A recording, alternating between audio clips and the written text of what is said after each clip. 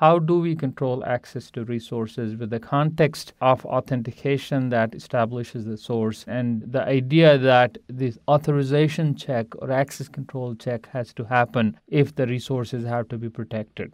Really for us to be able to answer this question we had whether a request should be granted or denied we have to know who is allowed to access what resources in a given system so if you think about this there are really two parts to this problem or the way we're going to address this problem in part 1 someone has to specify who has access to what so this is called an access control policy. So there may be many ways to sort of decide, you know, who gets to access what. There has to be a policy we have in place that is going to define this for us. So answer this question about who can access what is you tell the system how the resources should be shared or who should be given access to what resource.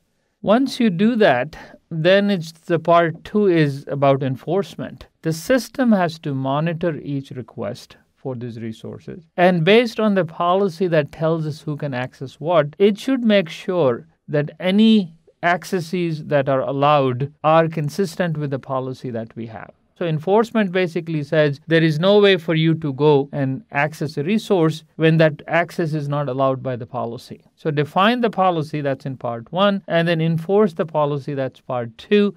Now, you can see the importance of complete mediation. Clearly, complete mediation says no one should be able to bypass and get to the resource without going through the trusted computing base.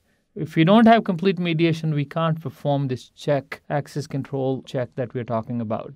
That is possible only when the trusted computing base is involved in a request, and that's why complete mediation is so important.